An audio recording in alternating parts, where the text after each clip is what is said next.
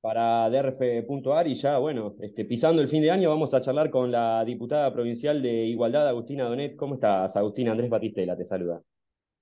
Hola Andrés, muy bien, gracias por la comunicación y un gusto estar en tu programa. Bueno, primero felicidades eh, por estas eh, fiestas, por este fin de año, por el, bueno, la finalización del año legislativo. Justamente queríamos charlar un poco de esto, de una reunión que tuvieron con el gobierno provincial para definir el cronograma electoral 2023, que está a la vuelta de la esquina. ¿En qué quedó eso, Agustina? Bueno, una reunión que en primera instancia nos parece positiva que se dé eh, la instancia de diálogo, de, debate ¿no? entre las diferentes eh, expresiones partidarias y expresiones legislativas de la provincia de Santa Fe para poder avanzar con cuestiones, como vos decías, que tienen que ver con cómo se van a llevar adelante las elecciones el año que viene. Es indispensable que tengamos eh, precisiones de, cómo va a ser el calendario electoral y en ese sentido, lamentablemente, no nos hemos podido ir de la reunión con, cuestiones concretas, se hablaron de tres fechas eh, posibles de la realización de las elecciones generales y en consecuencia eh, el resto de las fechas también de las pasos definidas en función de, esa, de esas tres estimativas fechas y bueno, y lamentablemente no, como te digo, no hemos podido tener mayores precisiones. Al respecto, nosotros desde, desde el bloque Igualdad y junto al diputado Justiniani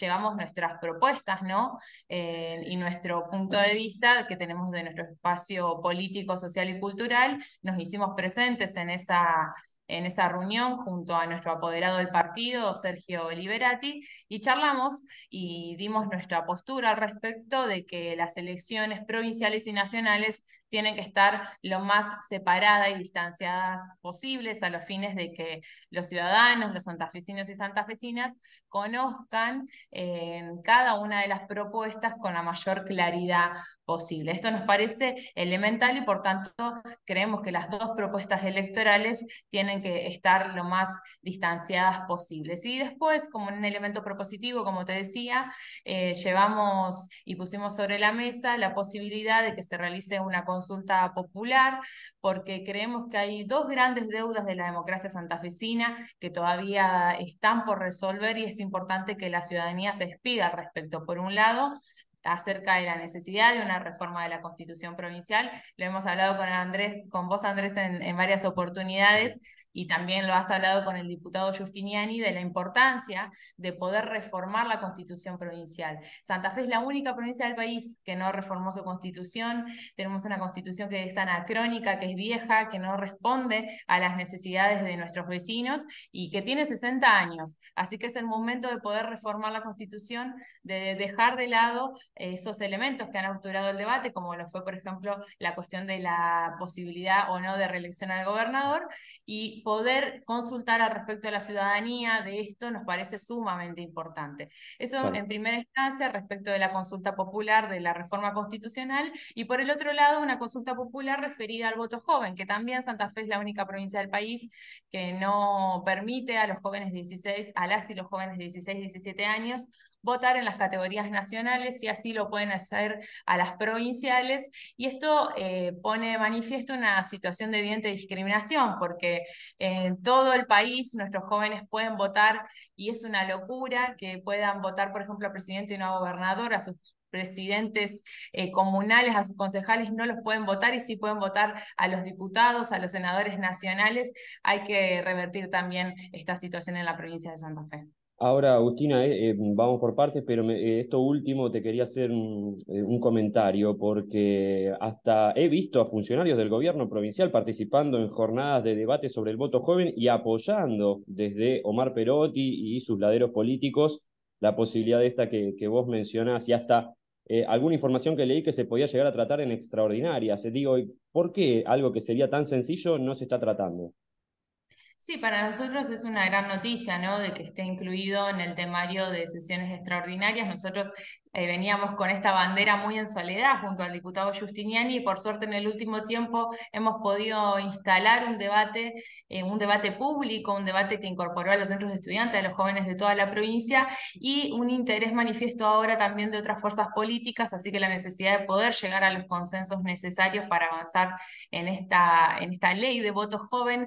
El punto que apertura al debate acá y volvemos una vez más al tema de la reforma constitucional. Andrés, hay muchos eh, espacios políticos que tienen como posición tomada de que no es posible avanzar con el voto joven hasta que no se reforme la constitución. Ah, como así también lo han expresado en otros temas, como por ejemplo en el tema de autonomía municipal, y la verdad es que no podemos seguir esperando. Y no hace falta ser abogado para, para saber que, que los tratados internacionales, que la constitución nacional, que las leyes nacionales son de mayor jerarquía, ¿no? Entonces, que todavía no se pueda votar en la provincia de Santa Fe realmente no tiene ninguna justificación, porque incluso analizándolo en términos constitucionales, los propios convencionales constituyentes dejaron expreso en nuestra constitución provincial que aquellos derechos que no estén expresados en la constitución, pero que se inspiren en sus principios, eh, tienen que ser de aplicabilidad y tienen que valer porque todos los santafesinos y santafesinas necesitamos y tenemos el derecho de tener los mismos derechos que tienen eh, el resto de los argentinos y argentinas. Y esto no está pasando en la provincia de Santa Con la juventud de 16 y 17 años, que ni siquiera tiene garantizado el voto joven. Imagínate si están en condiciones hoy por hoy de poder discutir en igualdad de condiciones toda una agenda joven que viene de la mano de la renovación de la política y de la demanda también de una sociedad que pide que la política sea oxigenada. Claro. Eh, volviendo al tema de las fechas y del cronograma electoral, les voy a opinar un poquito acá. Estoy de acuerdo con separar las cuestiones, porque en este país eh, federal, por no decir directamente unitario, Agustina, eh, se nacionaliza todo a partir de lo que tenemos en el sistema mediático, básicamente. Y si va todo junto, termina siendo este es el candidato de Cristina o esta es la candidata de Macri. Y no tiene nada que ver con la realidad de Santa Fe, ¿no? que tiene este, su propia característica. Este, pero lo que em, por ahí termina siendo algo perjudicial es el tema de, como venía el cronograma, seis meses de transición. Recordemos lo que pasó con Lifchit Perotti, eso también había sido un tema.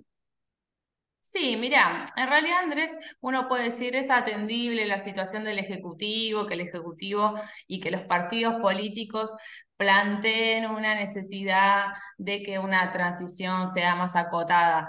La verdad es que si hay voluntad política de las partes para sentarse, para dialogar, para hacer una transición ordenada, esto no debería ser un impedimento. A mí me parece que es una falsedad hablar de un problema de las transiciones en términos de, la extensión, cuando en realidad el argumento y el principal motivo por el cual no se ha podido dar anteriormente ha sido por la incapacidad de esas fuerzas políticas que han sido gobierno o que pretenden ser gobierno y que la verdad que no se pueden poner de acuerdo ni siquiera en, en un par de puntos básicos y mínimos que sirvan, digo, no, no eh, no nada más ni nada menos que para la gente, digo. Entonces, esa dirigencia de esos espacios políticos me parece que debería eh, replantearse también eh, si son o si pretenden ser gobierno, desde, qué, desde qué lugar lo hacen, ¿no? Nosotros apostamos hacia adelante y estamos trabajando junto al diputado Justiniani desde nuestro espacio político en la construcción de un espacio social, cultural y político que, que sea posible y alternativo a estas expresiones, a estas expresiones mayoritarias eh, que, que, realmente no han podido, no han sabido, no han querido resolver los principales temas de la gente y esto se expresa una vez más en este tipo de situaciones, en la incapacidad de poder siquiera ordenar algo que es una cuestión institucional, o sea, que corresponde, que no debería ser de, de, voluntad política o de libre elección de uno u otro dirigente político, sino que es lo que corresponde, ¿no? Que corresponde en un ordenamiento democrático. Así que esperemos de que, de que esto también eh, sea un, motivo de reflexión y hacia adelante que podamos realmente ponernos de acuerdo en todos los temas, en una transición ordenada, en una reforma de la Constitución, en que los pibes de una vez puedan tener voto joven y así en tantos otros temas que lo hemos discutido siempre. No tenemos una ley de educación, Santa Fe la única provincia sin ley de educación, Santa Fe, una provincia que tuvo nueve veces medias sanciones de la ley de acceso a la información que muere en los cajones de Senado. Santa Fe que no tiene una ley de educación sexual integral. Digo, tantos, tantos debates hacen falta y tanto hace falta sentarse a conversar y, a poner, y ponerse de acuerdo para poder sacar nuestro país y nuestra provincia adelante, que me parece que en estos temas hay que, hay que hacer una reflexión y hay que, eh, más que hablar, predicar con el ejemplo. La última, Agustina, ¿se viene o va madurando ese frente, gran frente de centroizquierda para las elecciones? Sí, claro, sí, un frente que realmente, bueno, lo has visto vos, hemos hecho un lanzamiento en el Monumento a la Bandera de Rosario con las diferentes eh, expresiones políticas y fuerzas políticas que estamos eh, iniciando este camino, eso que es un punto de partida, ¿no? Y que creemos que, es algo que realmente viene a ser eh, mella, ¿no? A, hacer una diferencia en esta política santafesina del obturamiento, en esta política santafesina de bloqueo institucional permanente. Me parece que, que junto a los vecinos y vecinas, junto a los clubes, junto a las instituciones de barrio, frente, eh, que han estado al frente de la pandemia, por ejemplo, junto a esos referentes sociales, esos trabajadores, esas fuerzas del, feminismo, del ecologismo, que, también irrumpen en la política, que también participan políticamente, eh, podemos construir un mejor futuro para la provincia de Santa Fe, así que esa convocatoria abierta, amplia, ciudadana, democrática, participativa y horizontal eh, está en construcción, así que también esa convocatoria la hacemos a todos y todas los santafesinos y santafesinas que quieran acompañarnos. Agustina, bueno, te agradecemos como siempre por, por tu tiempo, por este, tu predisposición para DERF y bueno, que termines muy bien el año, seguimos charlando el año que viene. Gracias, gracias Andrés, te agradezco yo por darnos la posibilidad siempre de hacer algo que nos corresponde junto a Rubén Justiniani, que es rendir cuentas de nuestro trabajo y poder acercarle a la gente nuestras propuestas. Es muy importante el rol que tenés vos como comunicador y que ejerce el periodismo, así que la agradecida soy yo. Un muy buen año también para vos y para toda la gente que nos, que nos mira siempre. Te mando un abrazo gigante. Hablamos, hablamos pronto, Agustina. Chau, chau.